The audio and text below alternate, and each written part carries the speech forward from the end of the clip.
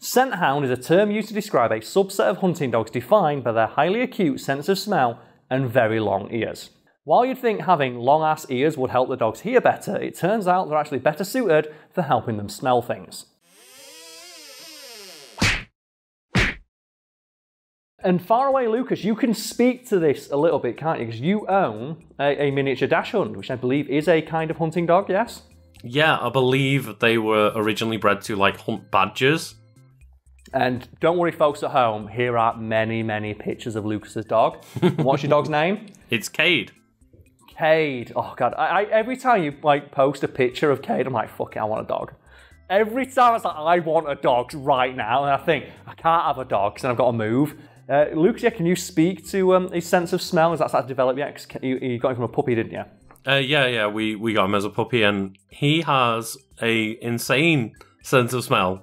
Like, and um, that's true of all dogs, but it's especially um, true of um, scent dogs and hunting dogs in general. And something I should mention is that dogs with massive ears can still hear exceptionally well and with far greater acuity than like any human. It's just that hearing is not as important to those dogs as smelling things um, because they the primary way in which they explore their environment is through smell, not hearing. And, yeah, um, and I can attest to that of like walking Cade, like he walks by his nose. And that's one of the things that blows my mind about dogs is that some of them have been selectively bred for such specific things. And I think the best example of how specific a trait is possible to breed onto a dog um, is the turnspit dog pictured behind me. Like a, it looks like a terrier, and its purpose was to walk on a wheel which would turn a spit on which meat was.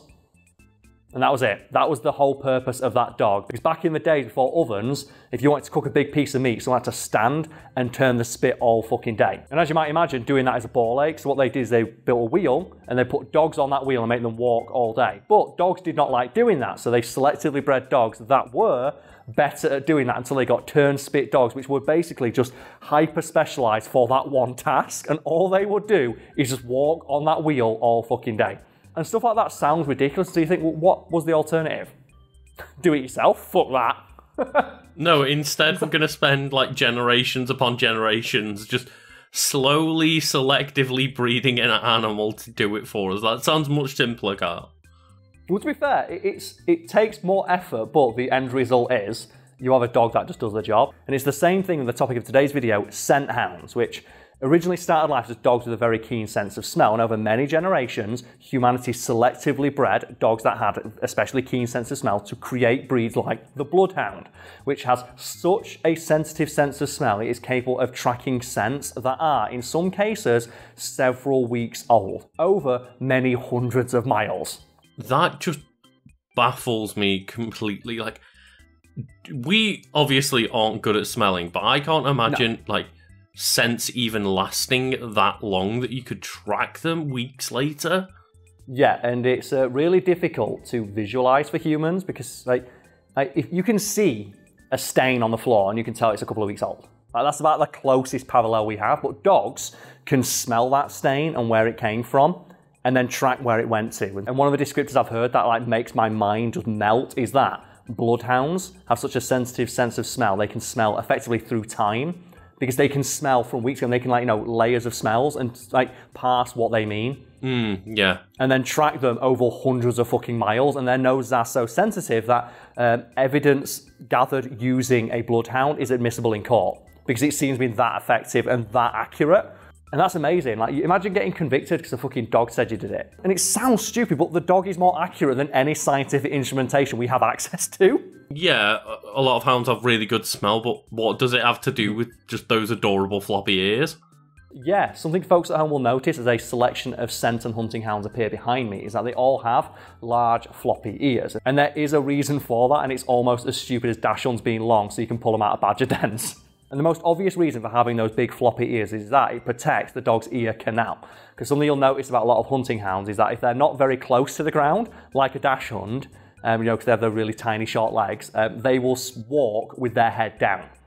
a lot of the time because like you know their primary way of exploring the world as mentioned is scent. So they will put their head close to the ground when they're walking um, which leaves their ears in range of things like you know insects on the ground. And having ears that flop over and protect the ear canal prevents things like insects and just other irritants from getting into the ear canal which is very sensitive on a dog. And there's probably a couple of people watching this at home thinking that's ridiculous Think about now what you do when a bee flies near your ear and how much you shit your pants when a bee goes. And now imagine that you had to walk across a field full of bees, like doing the flowers on the floor, with like dandelions and stuff, with your head an inch off the ground. So I guess that's kind of like the opposite to you know things like guard dogs where they have the pointy up ears to hear. Yeah, um, things like Dobermans and um, like Alsatians or German Shepherds, I think they're known in some parts of the world, where they tend to have um, ears that point up and also are capable of like swiveling independently to allow the dog um, to track using its um, highly acute sense of hearing much better than other breeds of dog. And those breeds of dog, again, are just the result of like hundreds of generations of selective breeding, of just taking desirable traits in a guard animal, such as you know, good hearing and massive ears that can just like, you know, swivel on an axis to pinpoint where noise is coming from. And it's incredible to think that we did that. Like not we, as in like you know me and you, but you know just humans in general, were able to selectively breed animals for such specific purposes. I get it because I bred competitive Pokemon. That's true. yeah. Yeah, and like Luke, like how many generations does it take to get a perfectly IV trained Pokemon that has the exact traits that you want it to have? Yeah. It's basically the exact same concept, just simplified and then put into a video game where you make like um, uh, pocket monsters kick the shit out of each other. Bring it back to scent hounds and their massive ears and how those massive ears help them smell better. Because there's probably some people out there thinking, how do big ears help things smell better? And the answer is like indirectly. So the ears themselves don't like contribute to the dog's sense of smell at all. However, um, as mentioned previously, when scent hounds um, just walk about or are tracking a scent, they will have their head very, very low to the ground. And when they are doing this, you'll see them snuffle. And you've probably seen Kay do that a lot, yeah? A lot, when he's yeah. snuffling. Like, um, like, you know, to stir up scents that are there that maybe you can't see or even detect, but he can. And he knows they're there. And have you seen him do that with something like maybe you've had like um, a bag of crisps previously and he knows it's been there, something like that? My old dog used to do that a lot. Yeah, like he does it a lot, you know, if we've just had some food and he walks around just like trying to find where that scent has come from. Like, oh, I can Yeah. smell that chicken's been cooked recently. but I don't know where the chicken is now yet. The thinking is that dogs with especially long ears, like bloodhounds and basset hounds and things like that, when they put their head down to track a scent, their ears drag along the ground, and in doing so, will stir up scents that are on the ground and then drive them towards the dog's nose. Right, yeah.